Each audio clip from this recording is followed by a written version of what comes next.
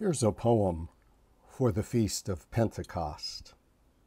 Our scripture passage comes from Paul's letter to the Romans.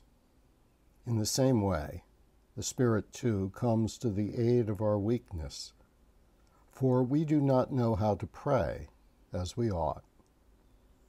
After Babel, the Divine Friend chooses to listen to our prayer as a courtesy we chatter our fears, pile words on words to pierce through the clouds.